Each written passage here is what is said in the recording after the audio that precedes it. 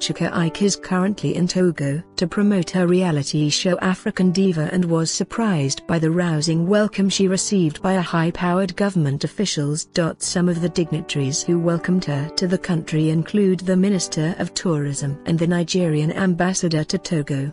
Check them out below.